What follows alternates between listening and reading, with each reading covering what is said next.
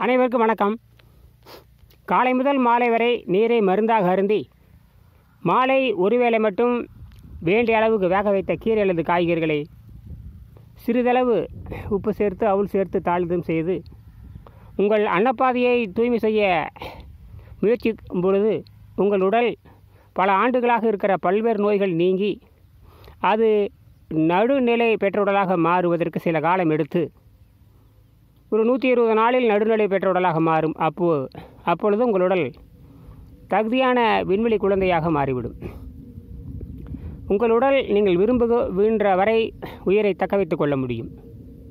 எவ்வளவு கடுமையான போராட்டங்கள் எவ்வளோ கடுமையான விளைச்சல் இல்லாமல் போனாலும் சரியே உங்களுடைய அன்னப்பாதை தூய்மையாக இருந்து மலக்குடலில் உணவு பாதையில் ஏறத்தாழ முப்பத்தி ரெண்டு நீளத்தில் முப்பத்தி மூணு நீளத்தில் எந்த அழுக்கும் இல்லாத நிலையில் சிறுநீர் போக்கு ஒரு நாளைக்கு ஒரு வேலை என்ற சுருங்கிய நிலையில் நீங்கள் அமைதியாக நூறு ஆண்டுகள் வாழ்ந்திட முடியும் அல்லது நூற்றி இருபது ஆண்டுகள் வாழ்ந்திட முடியும் நம்பிக்கை இருக்கிறவங்க.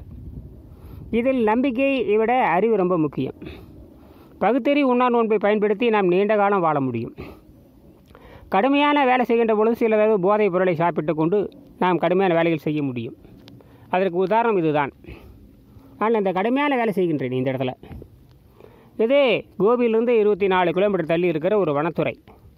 கமனாக்கிம்பட்டி அருகில் இருக்கிற ஒரு வனத்துறை. இந்த பக்கம் நாலு ரோடு இருக்குது கொடிவேரி இருக்குது தொலை தூரத்தில் பண்ணாரியம்மன் சர்க்கரை ஆலை இருக்குது இந்த பக்கம் ஆப்பகுள்ள சர்க்கரை ஆலை இருக்குது இந்த பக்கம் அஞ்சு கிலோ ஆறு கிலோமீட்டரில் ஆறு இருக்குது தென்னை மர தோப்பு இருக்குது இந்த பக்கம் இப்படி உடனே யானைக்காடு இருக்குது எல்லாம் இருக்குது ஆகையினால ஒன்றை நீங்கள் புரிஞ்சுக்கணும்.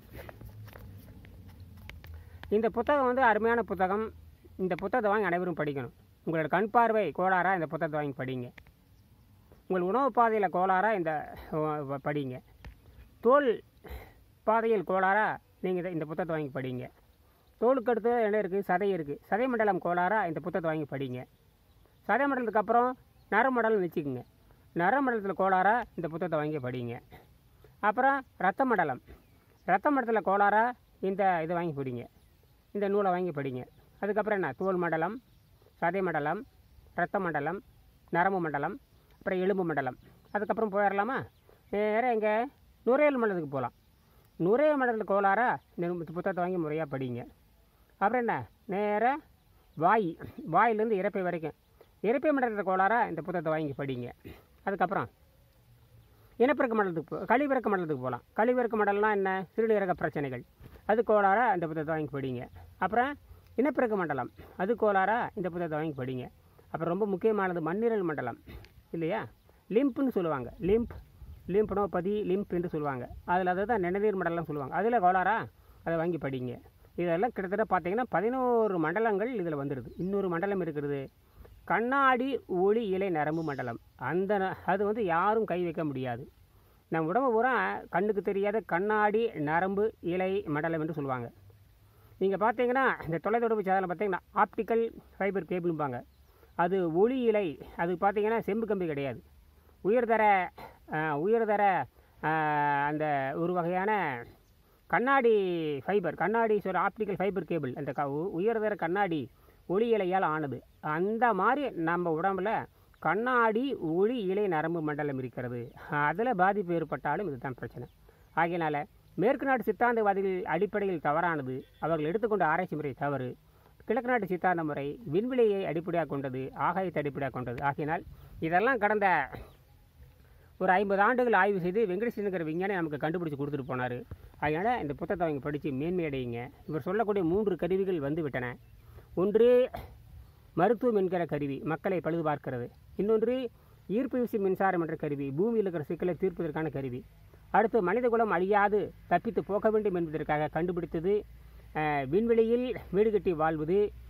அங்கே நீரை ஒரு மில்லி வோல்ட் புரியுதுங்க? நீரை ஒரு மில்லி வோல்ட்டு கொடுத்து நாம் தண்ணீரை எளிமையாக பிரித்து நீரை ஒன்று ஒரு மில்லி வோல்ட்டில் பிரிக்கிறது சாதாரண விஷயம் இல்லை அடிப்படையில் வெள்ளைக்காரர்கள் தவறு பண்ணியிருக்காங்க. அவங்க வந்து ஒன்று புள்ளி நாற்பத்தி நாலு வோல்ட்டு வேணுங்கிறாங்க. கிட்டத்தட்ட ஆயிரத்தி நானூற்றி நாற்பது மில்லி வோல்ட் கிட்டத்தட்ட ஆயிரத்தி ஐநூறு மில்லி வோல்ட்டுங்கிறாங்க ஆனால் வெங்கடேசன் தொழில்நுட்பத்தை பயன்படுத்தி நான் ஒரு மில்லி வோல்ட்டை பயன்படுத்தி செயற்கையாக நூறு டிகிரி வெப்பத்தை கொடுத்து ஒரு மில்லி வோல்ட்டு பயன்படுத்தி நான் ஹைட்ரஜனை அபரியமாக உற்பத்தி ஆகிற மாதிரி கண்டுபிடிச்சிருக்கேன். இந்த எனக்கு இருக்கிற இந்த அறிவுக்கு தொண்ணூற்றி எட்டு சதவீதம் வெங்கடேசன்கிற மாபெரும் விஞ்ஞானி தான் காரணம். மிச்ச ரெண்டு விழுக்கடை என்ற அறிவை பயன்படுத்தி நேரடியாக நாம் தண்ணீரை வெப்பப்படுத்த முடியும் என்கிற ஒரு சித்தாந்தத்தை கண்டுபிடித்து வைத்திருக்கிறேன். தொண்ணூத்தெட்டு விழுக்காடு வெங்கடேசனோட அறிவு ரெண்டு விழுக்காடு என்ற முயற்சி. இந்த முயற்சி கிட்டத்தட்ட நூற்றி ஐம்பது நூற்றி ஐம்பது ஆண்டுகள் இடைவெளியில் இருந்தது. ஆயிரத்தி எட்நூற்றி எண்பத்தி ஒன்பதில் லாண்ட் அண்டு மோங்கர் என்கிற விஞ்ஞானிகள் கண்டுபிடித்தது. அவங்க எழுநூற்றி முப்பத்தி எழுநூற்றி முப்பது மில்லி ஊட்டில் பிரித்தாங்க அதுக்கப்புறம் அவங்களால பிரிக்க முடியல. அதுக்கப்புறம் வெங்கடேசனுங்கிற மாபெரும் விஞ்ஞானி ஆயிரத்தி தொள்ளாயிரத்தி எழுபத்தஞ்சில் எழுநூறு மில்லி வோல்ட்டை பயன்படுத்தி தண்ணீரை பிரித்தார் அவரும் என்ஆர்டிசி அவர் சொல்கிற கொள்கையை ஏற்றுக்கல அதுக்கப்புறம் ரெண்டாயிரத்தி இருபத்தி ரெண்டில் ஒரே ஒரு மில்லி வோல்ட்டை பயன்படுத்தி தண்ணீரை எப்படி பிரிக்க முடியும்னு எனக்கு வெங்கடேசன் சொல்லி கொடுத்தாரு. அது செமிகண்டக்டர் வச்சு தான் நம்ம அதை செய்ய முடியும். அந்த செமிகண்டக்டர் வைத்து அந்த இஎம்எஃப் என்கின்ற மின் இயக்க ஓட்டத்தை மின் மின் இயக்க ஓட்டம்பாங்க இஎம்எஃப் அந்த இஎம்எஃப் வந்து யாரும் அடக்க முடியாது. அது வந்து வோல்ட்டை விட அதிக சக்தி உடையது. அதை அடக்கணும்னா செமிகண்டக்டர் என்கிற அந்த டயோடை வச்சு தான் நம்ம பண்ணணும். அதை வைத்து தான் அந்த ஒரு மில்லி வோல்ட்டில் நான் அதை குறைச்சி காட்டியிருக்கேன். இதே எதிர்காலத்தில் வரக்கிற புரட்சி எல்லா நன்மையும் என் ஆசிரியர் சாரும் எல்லா நன்மையும் திருவள்ளுவரை சாரும். எல்லா நன்மையும் திருமூலரை சாரும். எல்லா நன்மையும் தொல்காப்பியரை சாரும். எல்லாம் இப்படி சொல்லிகிட்டே போகலாம் ஆக திருவள்ளுவர் திருமூலர் பதஞ்சலி டாக்டர் அர்னால்ட் ஹெக்ரட் ஜெர்மனி டாக்டர் வெங்கடேஷ் என்கிற மாபெரும் விஞ்ஞானி அதுக்கப்புறம் சார்லஸ் டார்வின் அதுக்கப்புறம் ஈவான் பாவ்லு என்கின்ற ரஷ்யன் சயின்டிஸ்ட் அதுக்கப்புறம் இனியன். இதெல்லாம் தாண்டி என்னுடைய துணைவியார் இதெல்லாம் தாண்டி என் தாய் தந்தை. இவர்களுக்கெல்லாம் இந்த கல்வி இவர்களுக்கெல்லாம் இந்த சமர்ப்பணம் இவர்களுக்கு தான் இதெல்லாம் காரணமாக இருந்திருக்கிறார்கள். ஆகினால் தெய்வத்தால் ஆகாதெனினும் முயற்சி தன் மெய்வர்த்த கூலிதரும் என்பதை புரிந்து கொண்டு இந்த நூலை வாங்கி படித்து மேன்மேடையுங்க. நன்றி. வணக்கம்.